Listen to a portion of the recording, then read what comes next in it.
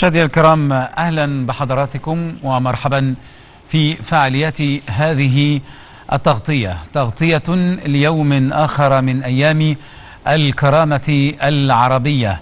الفلسطينيون مرة أخرى ومرة بعد مرة يدافعون عما تبقى من هذه الأرض، عما تبقى من الكرامة، عما تبقى من المعاني ومن القيم. الجميع في وقت الاصطفاف الآن. القدس عربية القدس إسلامية القدس فلسطينية القدس ليست إسرائيلية ولن تكون. حتى وإن كان ذلك على الأوراق لكن في الحقيقة وفي الواقع وعلى الأرض لن يكون ما دام الصمود العربي. القدس أحد أهم الرموز التي تبقت لهذه الأمة سواء الأمة العربية أو الأمة الإسلامية. كي يتجهوا للحفاظ عليها. أذهب إلى غزة وتحديدا. معي الدكتور فيصل أبو شهلة عضو المجلس الثوري لحركة فتح والمجلس التشريعي. أهلا بحضرتك ومرحبا دكتور فيصل. يعني الكلمات يعني يعني تكاد تنطلق من كل مكان لكنها تظل كلمات لكن الفلسطينيين على الأرض الآن يحاولون رأب الصدى يحاولون أن يستمروا في صنع التاريخ. ماذا بعد؟ آه الأرض أرض فلسطينية كما تفضل. والقرار مش مش أمريكي ولا أوروبي ولا بلفور ولا هذه أرضنا. وأبي قضى هنا. فلا تنازل ولن نترك هذه الأرض ولن نتنازل عنها. أنت حضرتك يمكن والجميع المشاهدين شاهدوا في شهر يوليو الماضي حين أرادت إسرائيل أن تفرض قيودا على دخول المصلين إلى المسجد الأقصى والحرم القدسي الشريف. ماذا فعل الفلسطينيين؟ دافعوا على الرغم من كل الصمت اللي كان حواليه لكن دافعوا وافترضوا استطاعوا أن يفرضوا المعادلة وأن هذا مسجدنا وهذا هو أقصانا وهذه قدسنا. اليوم آه هذا الغبي أنا يعني لأنه لم أجد وصفا خلاف ذلك وأنا أعتذر عن استعماله على شاشتكم لكن حقيقة قرار قام به غبي وقرار في منتهى الغباء. بأي حق يقول إنه هو يعني أخذ قرار وكان القدس ضيعة له وأنه كان يظهر أمام الجميع أنه أعطى وعدا انتخابيا لمن؟ لناخبيه الإسرائيليين. هذا حال الرئيس الأمريكي الذي في كلمته بالامس يعني يعني رغم أن فكرة الوصف بالغباء قد قد يعد وصفا سياسيا في في بعض استعمالاته لكن لكن دكتور هو هو وعد بلفور ماذا كان؟ حينها وصف أيضا بالقرار الغبي أو بالوعد من لا يملك لمن لا يستحق لكنه نفذ على الأرض. يعني يجب يجب ألا نستهين بما يحدث. لا نستهين. نحن كما قلت لك هذه أرضي أنا وأبي قضى هنا. فلن نخرج ولن نتنازل وهذا قرارنا. نحن لم نتنازل عن لا زلنا منذ حين بلفور ومن قبل بلفور. والشعب الفلسطيني يقدم الشهداء والضحايا والأسرى والتضحيات المتراكمة دفاعا عن حقه وعن أرضه. وهذا إلى لن ينتهي هذا الصراع حتى يأخذ الفلسطيني حقه. هذه مدينتنا هذه قدسنا هذه العاصمة الأبدية لدولة فلسطين. وهي أيضا العاصمة الروحية للأمتين العربية والإسلامية. هذه هي القدس. ماذا يتكلم؟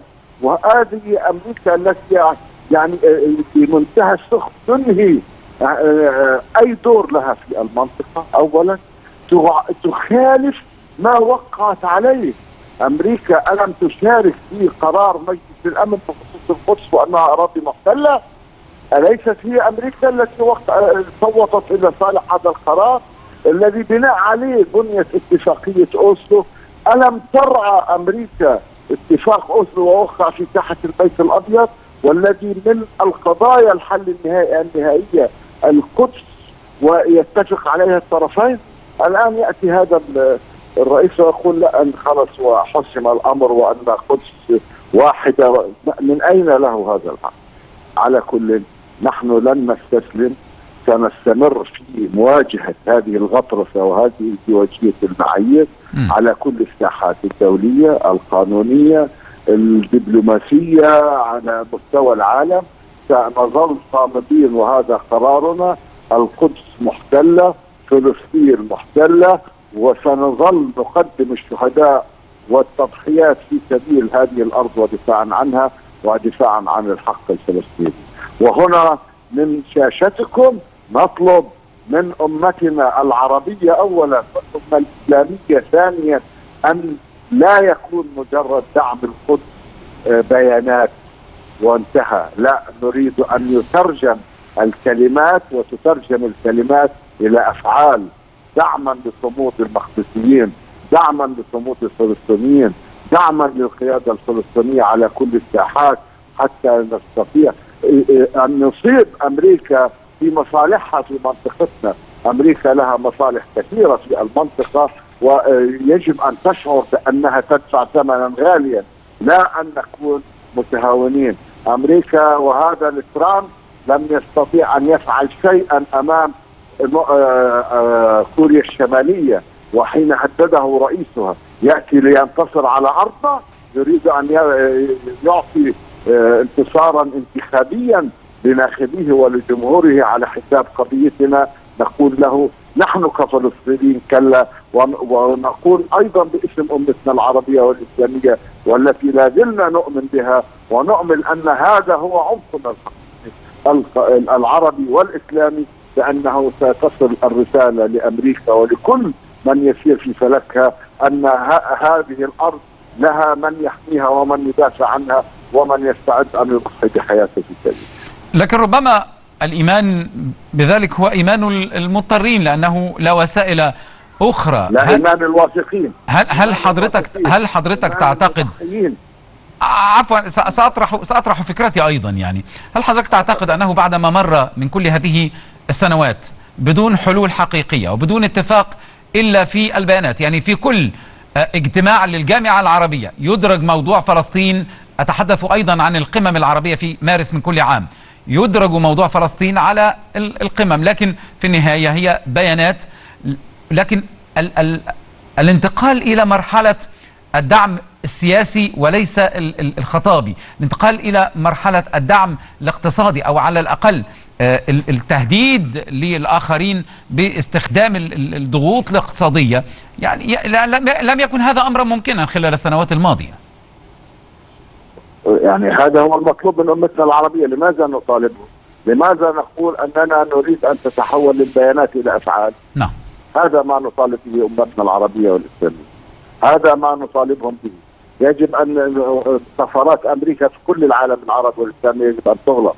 واولا أيضا سفارات إسرائيل التي موجودة هنا أو هناك. يجب أن يشعر الجميع أن هناك الفلسطينيين ليسوا لوحدهم وأن هناك لهم أهل ولهم أمة ولهم من يدافع عن هذا الحق وأيضا أن القدس تحديدا ليست فقط فلسطينية بل هي أيضا إسلامية وعربية.